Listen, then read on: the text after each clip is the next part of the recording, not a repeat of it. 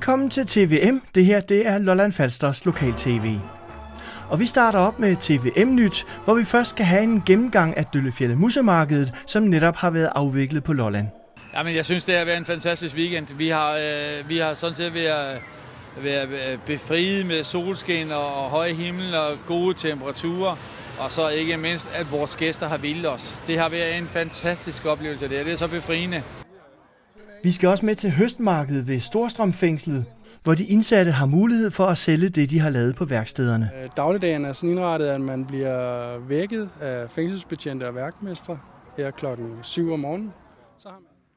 Og så var det i går søndag den nationale flagdag, som blev markeret mange steder i Danmark, blandt andet i Nykøbing. Vi skal også se de seneste billeder fra Rødby Havn, hvor man nu er i gang med at støbe fundamentet til den nye tunnelelementfabrik. Og så havde jeg faktisk tænkt mig, at I skulle skrive teksten. I sidste uge blev det offentliggjort, hvem der skal spille med i Nykøbing Falster Revyen. Og der er flere af skuespillerne, der er gengangere. Jeg står her i dag, fordi jeg er på udgang. Jeg er ellers blevet sat med lås og slå. Nu skal vi sgu kratte om gifte sig i morgen allerede, sådan gøjler gifte sig alt muligt. Efter nyhederne vender vi tilbage til Døllefjælde Musemarked. Vi skal følge to af landevejens ridere, som om lørdagen blev gift i Markedskronen.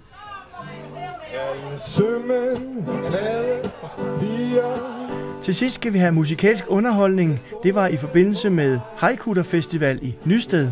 Vi skal høre Lolland Falster duoen spille. Rigtig god fornøjelse.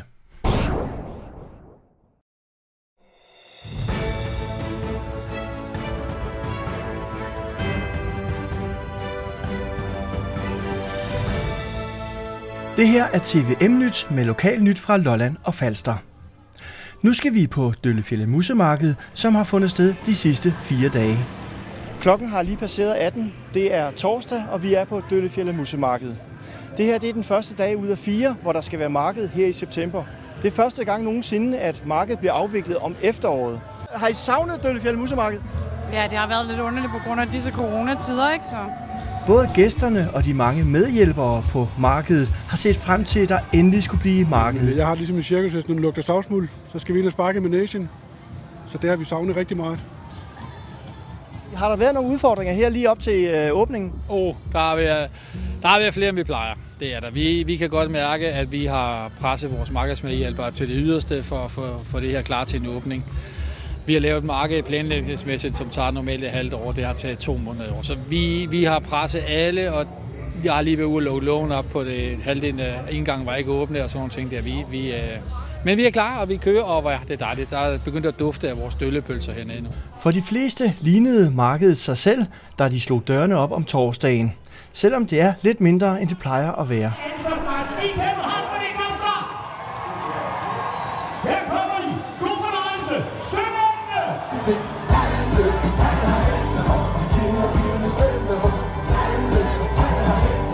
Stemningen fejlede bestemt ikke noget i det store markedstelt, da sømændene kl. 21 torsdag aften gik på scenen.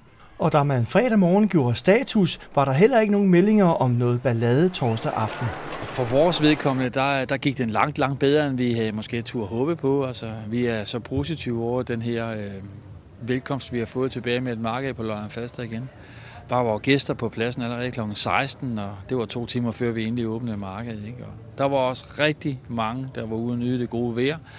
Smag en fadøl, smag en døllepølse osv. Og så gik sømanden jo på et teltet, og så var vi jo derinde med stort set rigtig, rigtig mange mennesker. Vi tømte nok markedspladsen lidt voldsomt for det, og så, øh, da, da sømanden sluttede, så, så tog folk hjem igen. De skal passe deres hverdag. Det er en ganske almindelig fredag, vi er på nu. Ikke? Så, så vi, vi synes, det gik rigtig, rigtig godt. Og selvom fredagen startede lidt sløjt, så kom der flere og flere i løbet af dagen, efterhånden som folk fik fri fra skole og arbejde. Og fredag aften var man igen klar til at give den gas. Igen kunne man høre på både gæster og krammer, at man havde savnet at komme ud. Jamen, det er jo fantastisk at være tilbage. Det er jo halvanden år, hvor vi har øh, ikke haft græs under fødderne, ikke også? Så det er fantastisk at være tilbage. Vi har glædet os så længe til det her, øh, og markedet er blevet aflyst det sidste øjeblik og så videre, så vi har virkelig været, været savnet at komme ud igen. Det er første gang til Dølfjell. Altså, jeg har været her i mine unge dage, ikke? Øh, og oplevet lidt at være her. Og nu, øh, nu synes jeg bare, at nu skulle jeg prøve min, min lille fiskforretning i Stubkøbing, skulle lave lidt anderledes ting. Jamen, vi laver sådan lidt af alt muligt, fordi det her, når det hedder markedsinformation, så er det selvfølgelig her, folk kommer, når de har spørgsmål. Hvor er det, hvor er det man kan hæve penge? Og det kan man så heldigvis lige have ved siden af hos min kollega, som har står for dankortudbetaling. Hvor, hvor nærmeste toilet henviser vi til. Vi, har, vi sælger også de her toiletarmbånd, som de øh, kan bruge. Hvis man køber et armbånd, så har man fri toilet øh, hele markedet. Det er sådan noget af det, vi klarer. Og alle mulige øh, forfaldende spørgsmål. Også hvis der er børn, der bliver væk, kommer forældrene tit og spørger her. Og hvis børnene står her og grædende og ikke kan finde deres forældre, jamen, så har vi mulighed for at efterlyse dem.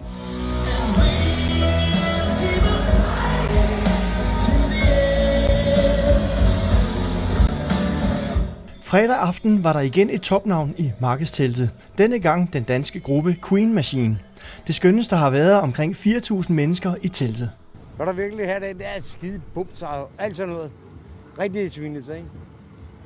Og i bedste fald, så siger man, ja, bedst Og så bliver vi overhældt med Ja, øl og ting. Og så må vi godt skifte tøj bagefter, men vi må ikke gå i bad i tre dage. Intet Døllefjellemarked uden landevejens ridere. Og lørdag blev det annonceret, at der skulle være gøjlerbryllup i Markedskronen. Hvad var din rolle her til brylluppet? Præst, simpelthen. Jeg skulle lige smide dem sammen, så og det foregår lidt hurtigt og lidt utraditionelt for os. Sådan er det gerne. Giv en lidt gas.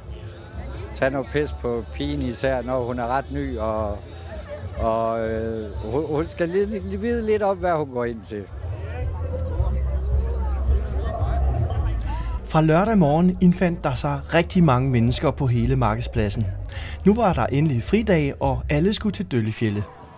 Og en masse ekstra damer, cirka 1500 af slagsen, begyndte også at dukke op i løbet af formiddagen. Ved du hvad, der skal ske det, at klokken om 16 minutter, så skal vi til damefrokost. Har du været med i alle årene her til damefrokost? Jeg er 18 år, og jeg har samme outfit på i 18 år. Det, farven er skiftet ud hver år, men hårbøjlen har været den samme i, i 18 år. Jeg kan allerede se, at der er nogen, der begynder at lægge an på. Er det meningen? Ja, det er jo altid godt at blive, altså... hellere blive overbekloet, end at blive overset, vil jeg sige, ikke? Altså, der er ikke grund til at gå i et med tapetet, vel?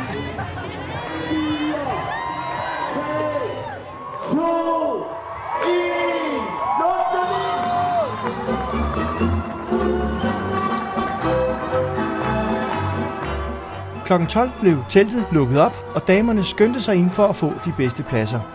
I år er det 20 års jubilæum, så der var gjort et ekstra ud af det hele.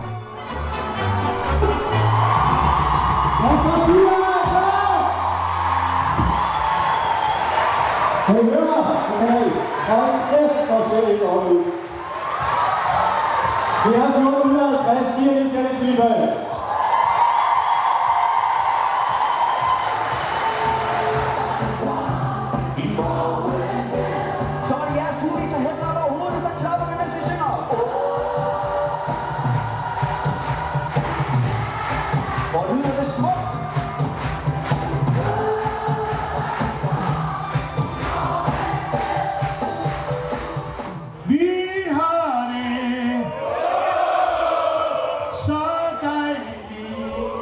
afdæmpet var det i Vesternteltet til herrefrokost.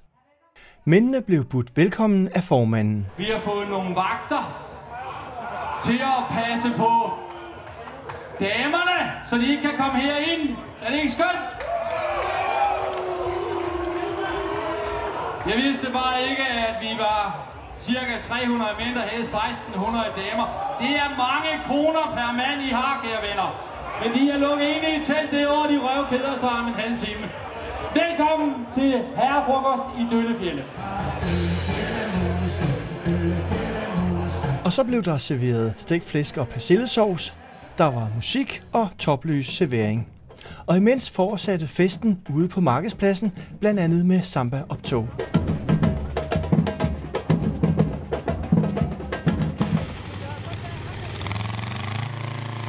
Der blev også afviklet uofficielle Døllefjelle-mesterskaber i havetraktortræk. Spis den, siger de. På den sidste dag, søndag, var det helt store trækplaster, specielt for børnene, onkel Reje. Jeg mærker lidt gruppepres hernede foran fra. Spis den, siger de.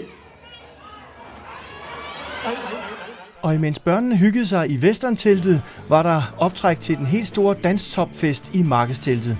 Candice, som hvert år er fast inventar om søndagen, spillede i hele tre timer.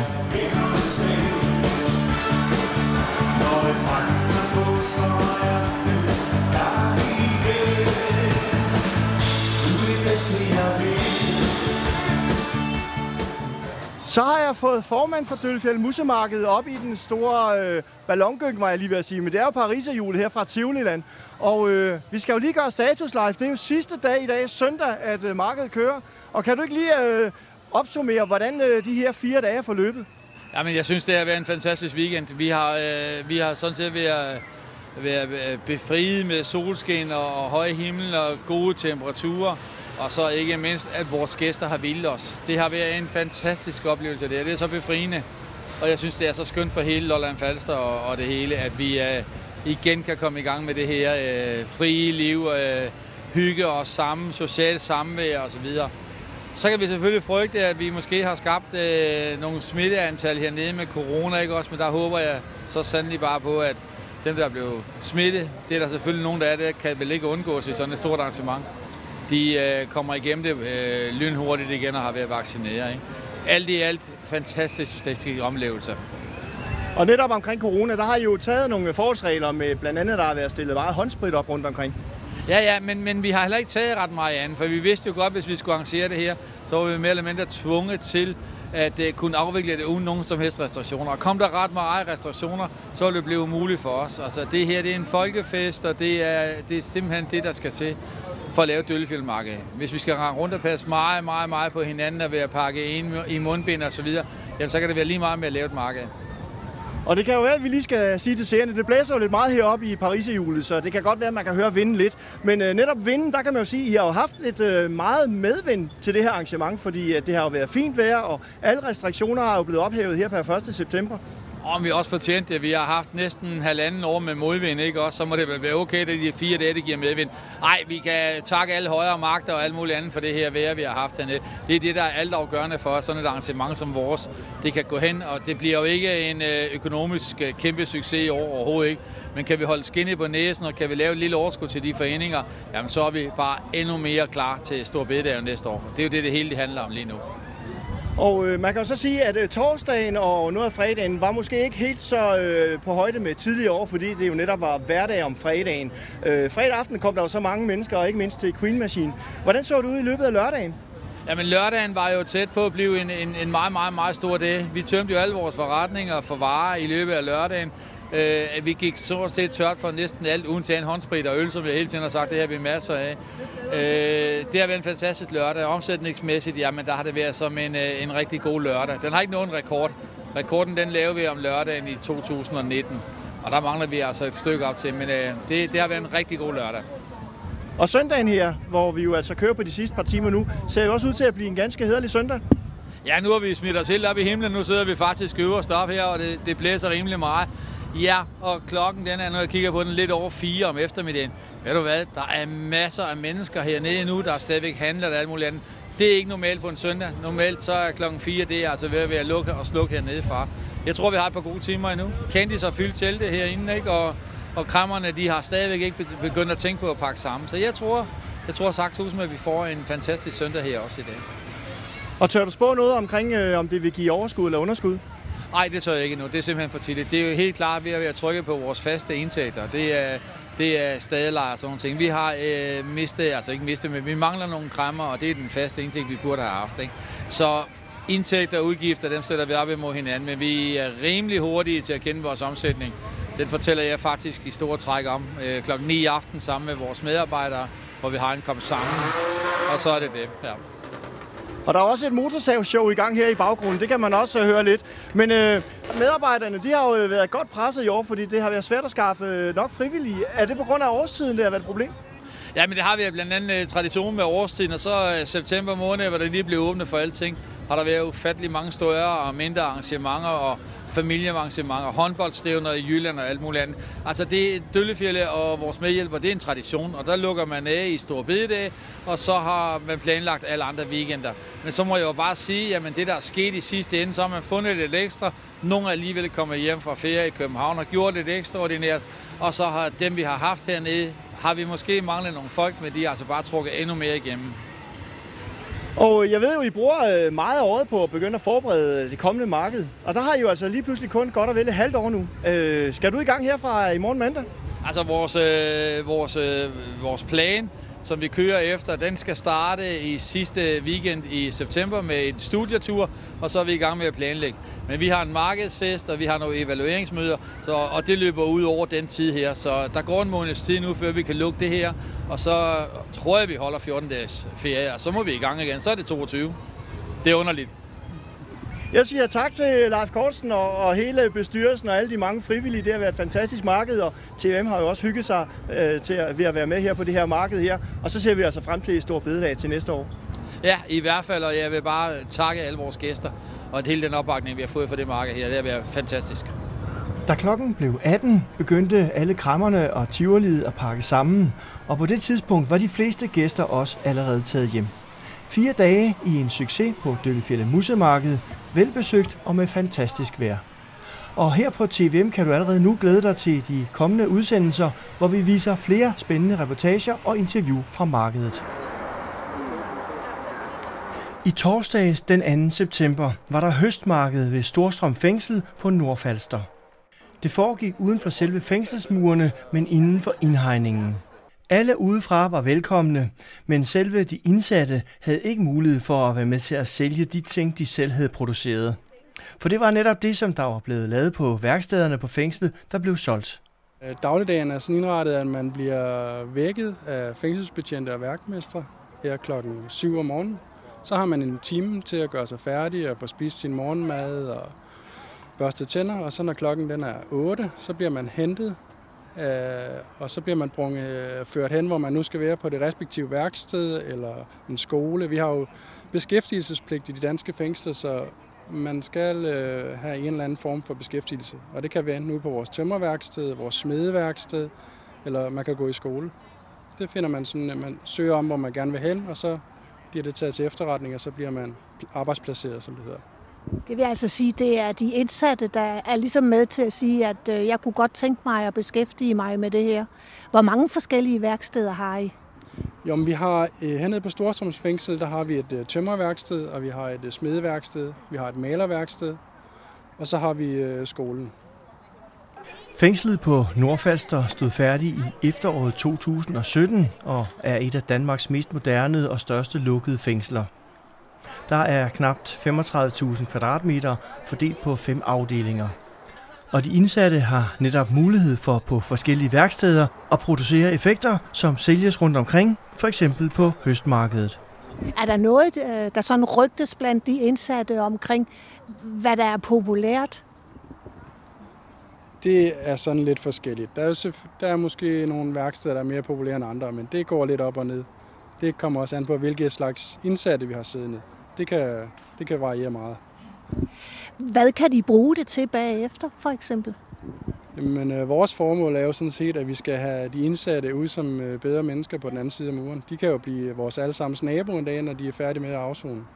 Så vi skal jo prøve at motivere dem til at komme ud og få et godt arbejdsliv, og, øh, eller få en uddannelse via skolen, og så på den måde øh, håbe på, at vi kan få resocialiseret dem, så de kommer ud til en, en bedre hverdag. Ja, Tak skal du have, Kenneth Winter. De varer, der blev solgt på høstmarkedet, er ikke kun produceret i Storstrøm fængsel, men også indsatte fra andre fængsler, for eksempel Nyborg Statsfængsel, har været med til at lave mange af effekterne. Og den her vejer lige knap 2 kilo. Og det er en kaphornugle. Der var også flere andre kunstnere inviteret med til høstmarkedet, som både udstillede dyr og kunstværker.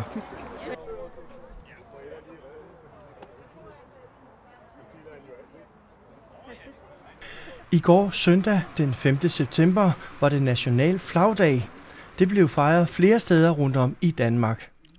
Hvert år hylder og anerkender Danmark officielt den indsats, som tusindvis af danske udsendte har internationale missioner i verdens brandpunkter. Gennem en lang årrække har Danmark været meget aktiv i Helmand-provinsen i Afghanistan, men har nu trukket alle soldater ud af landet. I går søndag blev det markeret blandt andet i Nykøbing, hvor Nykøbing Falstergarden først gik gennem byen, og bagefter mødtes man i bibliotekshaven, hvor der var kransenedlæggelse, og borgmester John Breder holdt tale. Det her det er billeder fra sidste gang, der var flagdag i Nykøbing. Her skal vi se luftfoto fra Rødbyhavn, hvor man nu er kommet et trin nærmere etableringen af Femernforbindelsen. Arbejdshavnen, som vi her ser en grafisk model af, er snart færdig, og også den nye by, hvor alle tunnelarbejderne skal bo, er ved at være klar. Den blev forleden indviet. Og i august begyndte man også støbningen af den første af i alt 22 massive fundamenter til de stålsøjler, der skal bære tagkonstruktionen på den kommende tunnelfabrik. Fundamentblokkene kræver hver omkring 36 kubikmeter beton, og de er placeret 3 meter nede i jorden. Når først fabrikken er færdig, skal der produceres i alt 79 standardelementer og 10 specialelementer i armeret beton på tunnelfabrikken. Produktionsanlægget ventes at skabe et par tusind arbejdspladser årligt i den cirka 8 år lange byggeperiode. Så det vil blive en stor arbejdsplads, hvor der vil blive arbejdet døgnet rundt. Derfor har man også taget specielt hensyn til naboerne ved at der bliver lavet en 10 meter høj jordvold rundt om hele anlægget. Her ser vi igen luftfoto fra området, som det ser ud nu. Til næste år vender Nykøbing Falster Revyen tilbage til Nykøbing Teater. Det er under ledelse af Mikke Ples, som overtog revyen for et par år siden.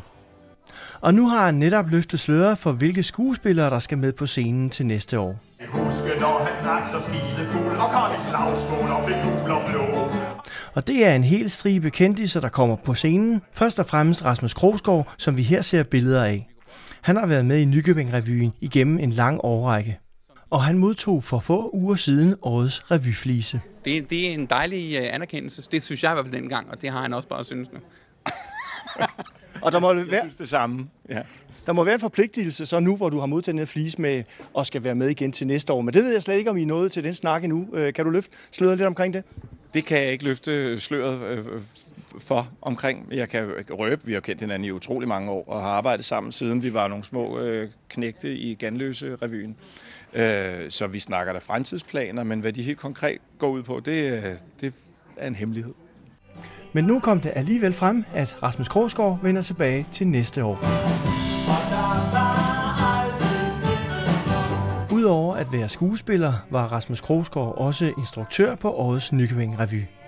Her ser vi et par klip fra tidligere år med Rasmus Krogsgaard. Og så havde jeg faktisk tænkt mig, at I skulle skrive teksten. Sidste år, der skete noget morsomt midt i pinsen. Det ringede på døren, og der stod skulle selve prinsen. En anden genganger til Nykøbing-revyen til næste år er Gordon Kennedy. Han var også med for tre år siden og har været med i et hav af andre revyer rundt om i landet. Mit navn er Bertel Hårder. Nu er jeg resten igen. Nu vil, nu vil folkeskolelærerne have løn under frokostpausen. Jamen for fanden der også. Som tidligere undervisningsminister har jeg aldrig fået løn for at spise min risengrød. Jeg står her i dag, fordi jeg er på udgang. Jeg er ellers blevet sat med lås og slå. Også skuespilleren Troels Malling vender tilbage til Nykøbing Falster Revyen til næste år. Han var også med i Nykøbing Revyen i 2019, og han er også kendt for en del satire, blandt andet på DR2. På den kvindelige front er der også to nye ansigter. Den ene er en gavet rotte i fade, kan man roligt sige, nemlig Bente Eskesen. Hun har senest været leder af Dragsholm-revyen, som netop lukkede i år. Og som det helt nye skud på stammen kommer Christine Yde, som ikke er så kendt i revysammenhængen. Men hun er både skuespiller og sanger, og har blandt andet lagt stemme til flere af Frost-filmene. Til hvem glæder sig til næste år, hvor vi får lejlighed til bedre at præsentere skuespillerne. Og dermed slutter vi TVM-nyt for i dag.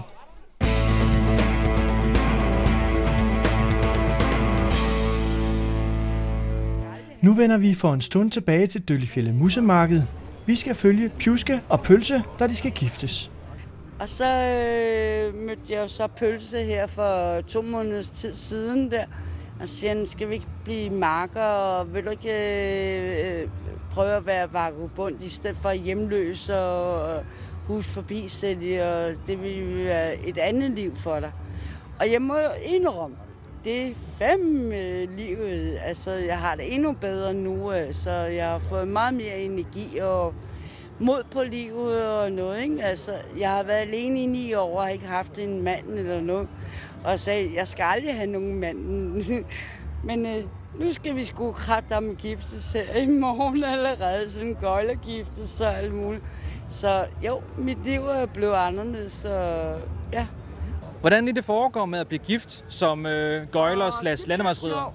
Jamen, øh... Det har jeg hørt så meget øh, interessant, sjov øh, i historier. Der og kommer... Der ved du ikke. Nej, det er det, jeg siger. Det må du fortælle. Det ved du bedst. Det handler om øh, en af de døbte er fuldgyldig medlem på landvaren, ikke? Han står op som præst. Så det skal være en, der virkelig kan svine folk til, ikke? Og så hun nok en fucking mere en møgkælling, og hun gider at tage min bajer og, og tørre mig i røven og alt sådan noget. Og det er bare... Og gider, og så siger det videre til hende. Kan du virkelig have den der skide bums og alt sådan noget? Rigtig svinet, ikke? Og i bedste fald, så siger man, at de er begge to. Og så bliver vi overhældt med ja, øl og ting og mulige og noget. Og så må vi godt skifte tøj bagefter, men vi må ikke gå i bad i tre dage.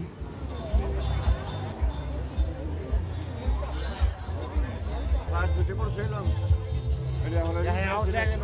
Ja, mine damer og herrer, så er det lige før tiden nærmer sig, og vi skal til at have et bryllup heroppe på scenen ved siden af Markedsskolen.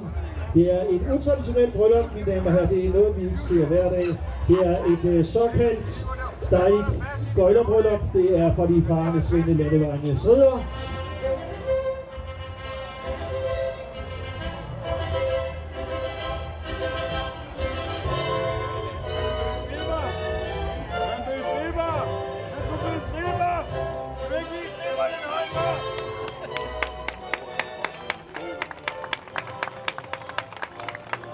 Vil du, øh, vil du hver mandag efter hver marked vaske hans strømper og hans underbukser, der er lagt i teltet og stikke hele weekenden, Aldrig. så I kan komme rent videre? Vil du virkelig mene, at han selv skal gøre det? Nej, han er over 30, han må klare sig selv. Det er en hård kvinde, du får der. Han er sgu da ikke dag over 30, hvad snakker du om? Ja, nu er du så gammel, det er det. Prøv den der. Jeg prøver den der, for jeg er alt Godt. Ja, se her. Vi skal jo lige have os med sammen også. Kom herhen og herhen. Hvordan øh, vil du øh, tage øh, pølse, Jeg står her det til kedelige drøs ved din side. Og agt ære ham. Og vask hans strømper. Og han tog sure underbus. Og rode ud i hans vogn, når han, øh, når han øh, ikke kan finde ud af det. Og hjælpe ham lidt igennem tilværelsen. Hvis du må pille ham i øret, jamen det tror jeg sgu, du får lov til. Og lige standkøb. Vil du, øh, vil du gå og hjælpe med at holde røven op på det pigevarm, så vi, så vi kan komme igennem tilværelsen nogenlunde? Ved man aldrig, men øh, det er eneste dag, når ældre i ånden, så jeg tager. Tag, så. Nå ja. I to i hit. Og ved I hvad? Jo, jo, kom her. Ned på knæ. Ja. Og så er det øl i håret her. Og så er det tre dage. Tre. Virker. Tre dage, der ikke vasket sig. Og hvem har en pande, der går rundt?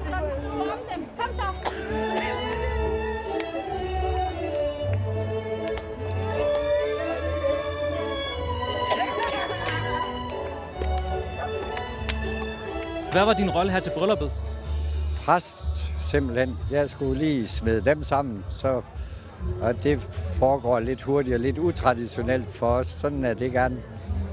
Øh, give en lidt gas. Tag noget pis på pigen, især når hun er ret ny, og, og øh, hun, skal lige, vide lidt om, hvad hun går ind til. Om at vi er noget fuld øh, abrøv, der ikke kan finde ud af at passe på os selv. Så, så det er altid rart at have en til at hjælpe med det. Og så kan man jo også hjælpe den anden vej, så, så er der jo noget at gå op i. Det er rart nok. Synes du selv, det gik godt med hvilelsen? Var der bred opbakning? Ja, det var vist nogenlunde. Vi er ikke så mange hårde i år jo, men øh, jo, det var da fint nok. Det... Er det meget almindeligt at blive gift på en øh, sådan døllefilmmarked her? Ja. Det er som regel markedspladser, vi, øh, vi øh, gør det på, og øh, det, det kan være, hvis man har tradition for at komme på et eller andet marked, så vil man gerne giftes der, for eksempel, hvor man synes, det er et godt marked, og, og man er glad for at komme. Og øh, de store markeder er vi, er vi også glade for øh, at blive vidt på, dem der, de, de fleste, fordi de går gerne lidt ud af det, og sådan, og, og der er jo uha, vi har haft markeder, hvor man blev kørt rundt i karet og sådan noget, det var så vældig. Så jo, men det, og det er altid hyggeligt, at der bliver gjort lidt ud af det også, sådan at man føler, at der er noget, ja, ikke? Det, så det er ret nok. Hvordan får man egentlig licens i et, øh, som landevejsridder? Hvordan får du egentlig lov til at vige folk? Vi gør det, at vi gerne tager ind de gamle gårde, der ved, hvordan tingene kører, hvordan det hænger sammen det hele. Ikke? Øh, og de har så lige spurgt mig, så ja, så måtte jeg lige rykke afsted og, og vide dem. Det vil jeg da gerne. Det er en gammel kammerat fra, jeg har gået tur med pølser og sådan noget, så ja, det vil man jo godt. Det er klart. Så, så det er altid sjovt og også lidt af en ære at få lov til. Så det, det er jo sjovt nok. Sten, hvad er din rolle til det her bryllup? Min rolle pt. til at få hende ind, det er, min kone hun er dronning på landevejen, og så skulle jeg føre hende ind og hente den, for det må give sådan noget lejen. Og det er en tradition, vi har. Så henter man bruden, og andre henter brudgommen. Ligesom en normal bryllup. Og gik det godt i dag? Det gik okay. Jeg synes, det gik fint. Det er altså, når du bliver gøjlergift, døbt, navngivet, så får du helt ud over. Og du kan blive gøjlergift flere gange. Det kan ophæves år for år. Og så kan du blive gøjlergift igen, så får du øl igen. Så må du gå i bad fjerde dagen først. Først tre dage må du gå i bad. Hvad sker der nu, hvis man, ikke bliver, hvis man går i bad før? Så bliver øh, brylluppet annulleret. Så du må ikke gå i bad de første tre dage. Og efterfølgende der, du må skifte tøj alle dagene, men du må bare ikke gå i bad. Og nu var der noget, vi ikke så. Der var noget med en saks, der kom ind i billedet. Ja, det var en strømpe, der lige skulle klippes. Det ville han ikke. Men det skal den. Og det blev den. Og hvad er formålet med den strømpe der? Det er ligesom, når du bliver gift normalvis. Der klipper man strømpen på brudgommen. Og det er det samme, vi gør som vagabunder. Og hvordan har I fået trold ind i billedet? Jamen, trolden han har været kongen før på landvejen. Han har været med mange år, og han har været præst før. Så vi bruger nogen, der har gået lang tid på landevejen til at være præst. Og I alle som gået hen til brylluppet her? Har I taget toget eller bussen? Nej, nu vil jeg så sige, nu har der været corona alt muligt. Jeg kører tog lige nu, men ellers normalt har jeg min barnvogn. Den har jeg også med nu, men den har bag tuggen normalt. Men nu har jeg været privilegeret, og jeg har den med. Nu har jeg lånt den til Storken og Troldmanden. De har lånt den, så jeg får den på Iskov først, fordi de skal bruges til deres bagage. Så nogle gange kan det være en fordel at have den med, når man ikke bruger den. Mit navn er Storken på de danske landeveje. Og hvad har din rolle været her til brylluppet? Det har været det, at øh, kongen var gået til frokost. Og da kongen gik til frokost, så var jeg ældste dybde på pladsen. Jeg blev navngivet her i 93. Og derfor, de har hverken holdt polterappen i går. De var heller ikke gået på krammertur. Og de havde også lige glemt at annoncere det, men det fik jeg også til. De gik op og snakkede med DJ'en, hvor skal vi stå og alt det der, og bla bla bla bla bla. Og øh, så sørgede jeg for, at der var en, der hentede pigebarnet, og der var en, der hentede støderen.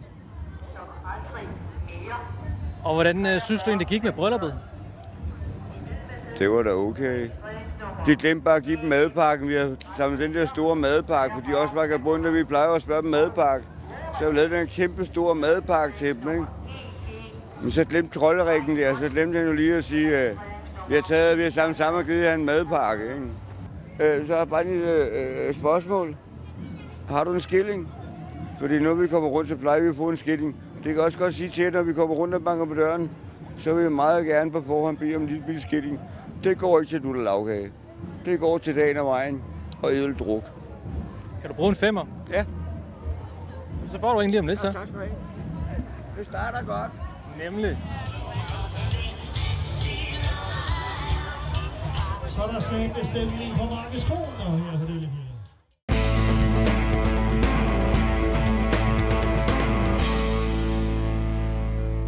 Nu skal vi kigge tilbage til Haikutter Regatta og Festival i år.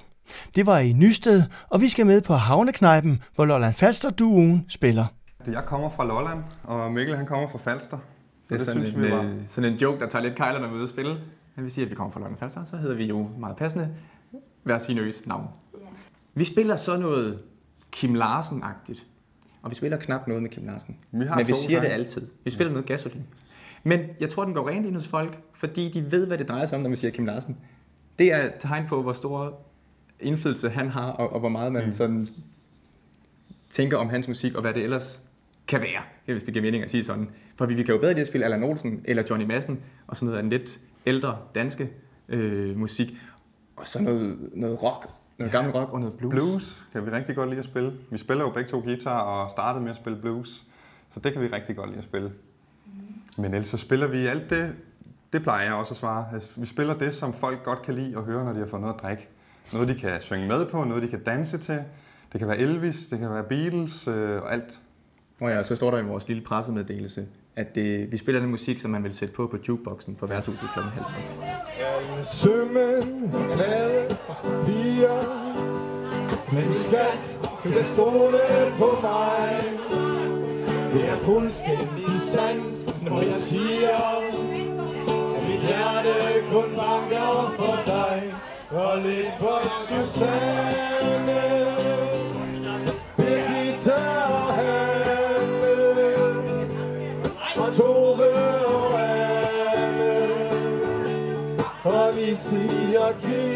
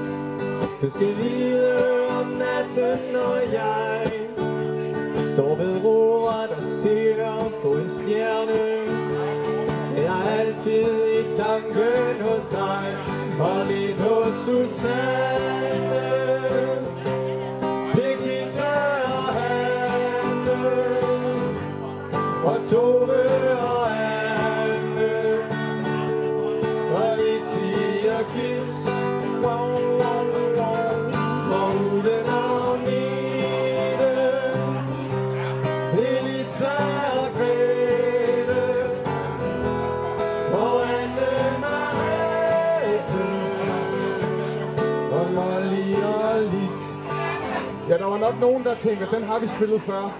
Men det hele bliver filmet. Mikkel han fuckede op, så vi må tage den igen. Alle sømænd er flot tatoveret. Du kan få det selv, den her kan du. Skal se, når jeg kommer i havn. Skål på min arm, er jeg smukt dekoreret. Mit hjerte, og der står dit navn ved siden af Susannes.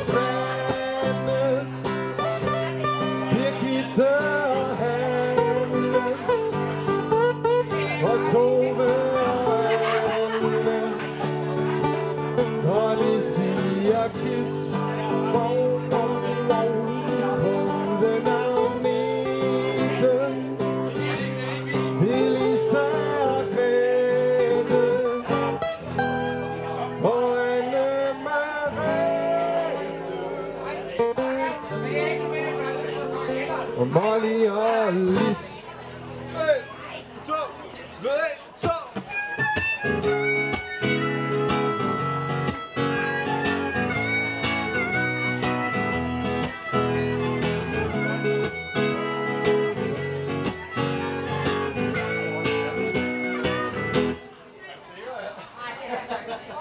Isn't she lovely? Isn't she wonderful? Isn't she precious? Less than one minute.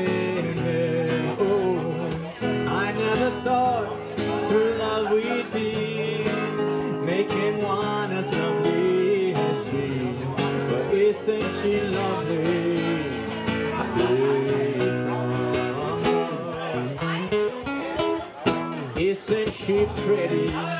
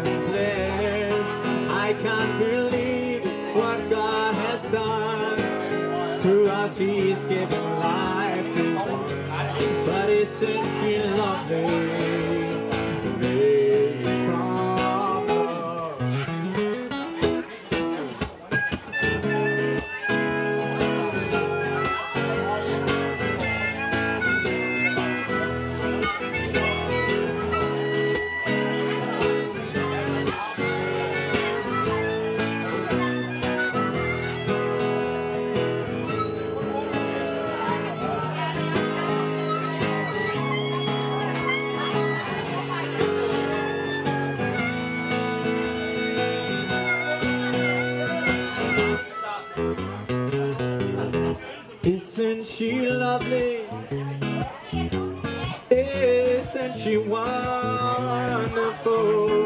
Isn't she precious?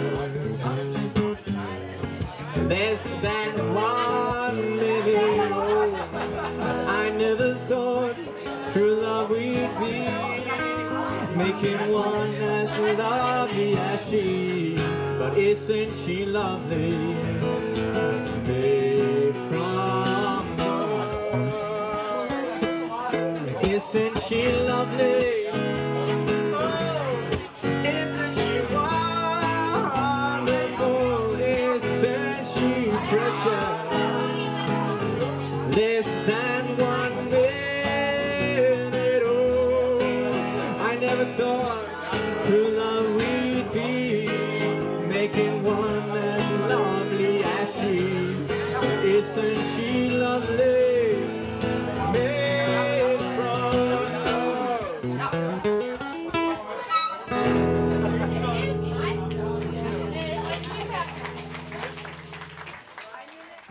Troede da også, i hvert fald mine forældre, synes også, at det var en dille, der nok var overstået på et par uger, efter jeg købte min første guitar.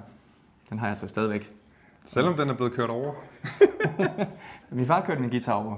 Den guitar, han ikke mente, jeg skulle have dengang. Og den kostede vel lidt under 200 kroner. Og så på et tidspunkt røg den under bilen i Knuttenborg. I Knuthenborg, ja. Men den lever stadig, og den har været på Roskilde Festival og alt muligt. Og jeg tror, at han er glad for, at den lever i dag, og at vi stadig spiller. Den næste sang, vi gerne vil spille, er min mors yndlingssang. Den hedder Brown Eyed Girl.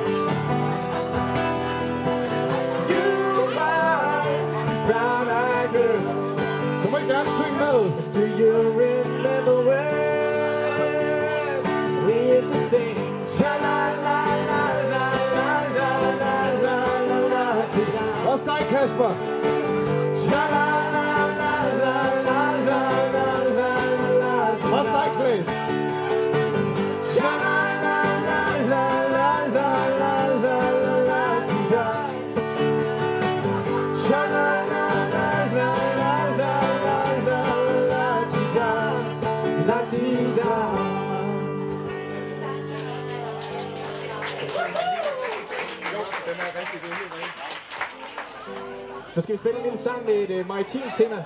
Den handler om, at mågerne skal plukkes. Der er kommet alt for mange af dem. De skider over det hele. Det gider vi ikke se på.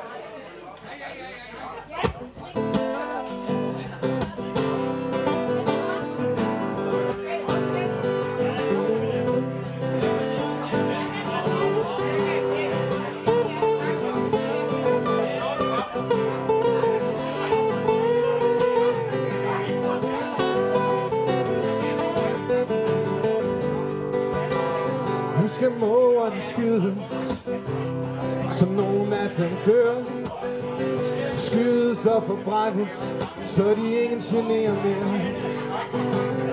De bliver skudt mens de kommer Og mens de ligger æg Skudt mens de sover På tænketankens tag. Havl gennem vinger Gennem lunger du havl gennem Til der bliver gråt af havl over byen La la la la la la La la la la la La la la la la la la La la la la Se, det er et omkvæd, de fleste kan synge med på. Og alligevel synes jeg ikke, jeg kunne se Klaas synge med. De kom flyve fra Biscayen denne mands slags vand De fandt læge mellem markens hvide kors På kold koldvælsirmænd De passede på hinanden På rejse mod nord. Krydset hen over Nysted Som morerne altid har gjort. For at se fra himlen ligner Danmark La la la. la.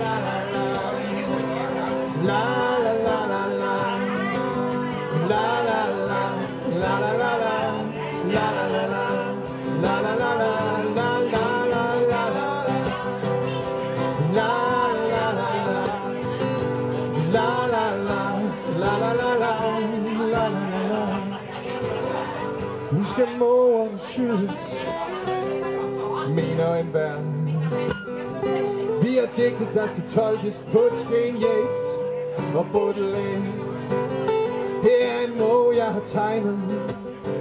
Værsgo og fond Du kan bruge det her hashtag.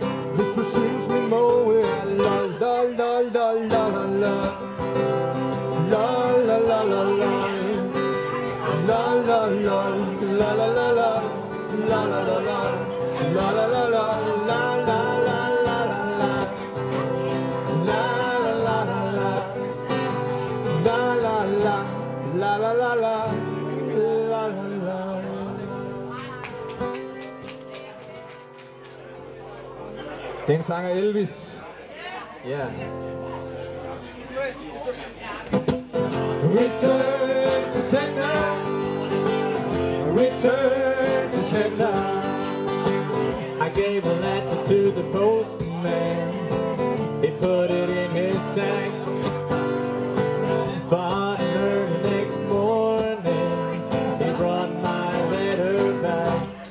wrote upon it. Return to sender,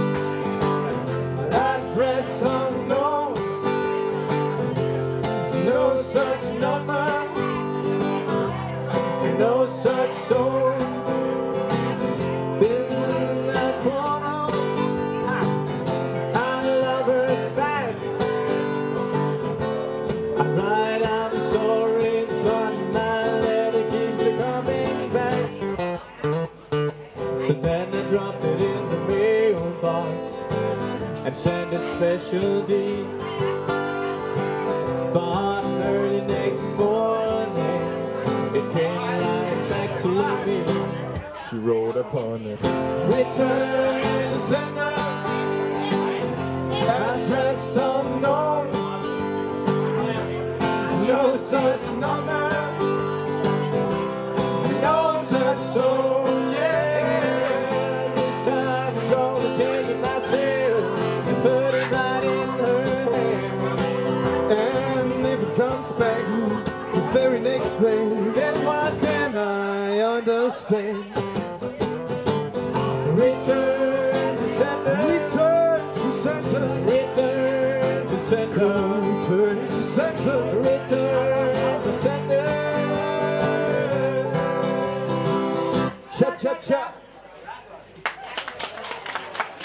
Tusind tak. Tusind, tusind tak. Og glas. Yes! Det er der ikke nogen, der kan høre mig. Det er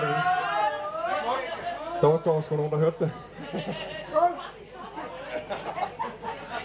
Nå, jamen så må vi jo til det. Det er jo et arbejde, det her. Jamen, der var nogen, der sagde skål. Alle sømmen, glade piger. Men skat, du kan stole på mig. Det er fuldstændig sandt, når jeg siger, at mit hjerte kun banker. Jamen det, altså, Magnus siger jo det helt rigtige. Men det lidt mere sjove, det er måske, at man får altid en, en underlig sjov oplevelse at komme ud sådan nogle steder her. Der kommer nogle skægge typer, og det er altid sjovt at være i en position som vores. Altså nu er vi jo stadig under 30, så vi er i en unge aldersgruppe. Men der er altid mennesker, der kommer forbi og siger, hvor er det er dejligt med sådan nogle unge mennesker som jer, der spiller musik, som vi kan lide. I skal nok blive til noget. Bare fortsæt, hvor I er. I går var der en, der sagde, er I ikke snart færdige inde på konservatoriet? Nej, der går lige et par år endnu. Der har vi så ikke været. Det sprang vi over, ja. Men det er også super fedt at komme ud, og vi, vi spiller tit til øh, private arrangementer, bryllupper, øh, 50 års runde fødselsdage. Og det er super fedt at komme ud øh, til glade mennesker, som øh, bare gerne vil høre noget god musik og opleve, hvor, øh, hvor forskellige øh, fester kan være også. Det synes jeg er meget spændende.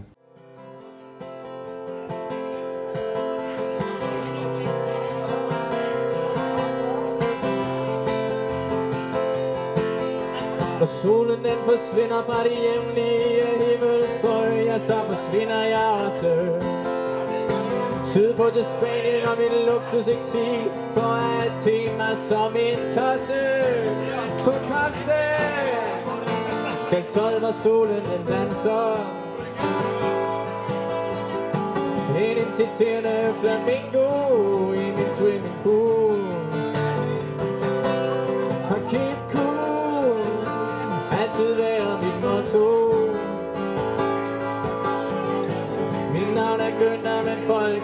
kalder mig C.V. Jørgensen. I øjeblikket har vi det herlige her på Costa del Sol i vort nynazistiske og asociale sammenhold. Men den nære russerne kommer, og det gør de jo nok ikke. Har jeg solgt min Asiana, købt en ny i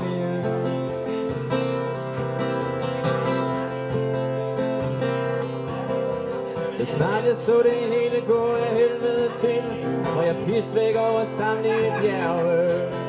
Og der er en del af den nu flittige dansker koloni med pension hjemmefra i reserve. På Costa, den sol, og solen den danser. En inciterende flamingo i min swimmingpool. Mit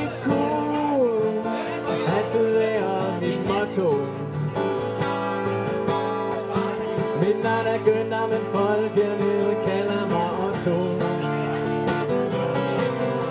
For øjeblikket har vi det herligt her på Costa del Sol I vort nynazistiske og asociale sammenhold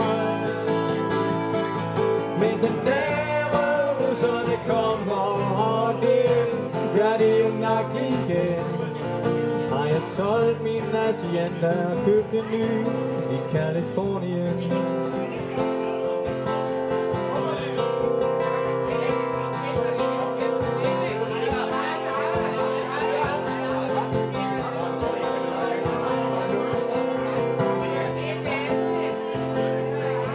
En sidste kommentar herfra skulle lige være den At jeg fyrer var en visionær klasse. Der så frem den var til stede den dag i dag. Vi er fat i røv og skvatter hoved og gasse På Costa Den sol når solen den danser. En inciterende flamingo i min swimmingpool.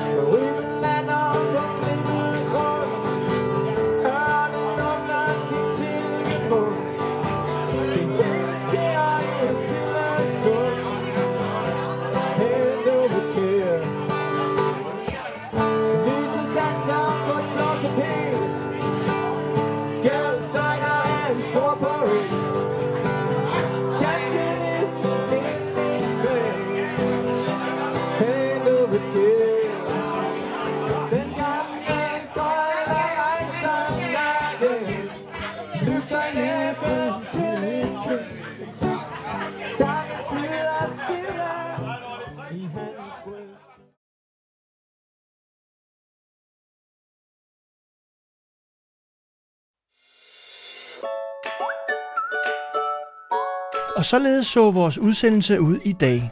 Husk, du kan altid genfinde den på YouTube eller ved de kommende dages genudsendelser. Vi er tilbage onsdag aften, hvor vi har flere reportager fra Døllefjælde Musemarked, og du kan i mellemtiden også finde små indslag, som vi har lagt på vores Facebook-side. Tak for nu og på gensyn.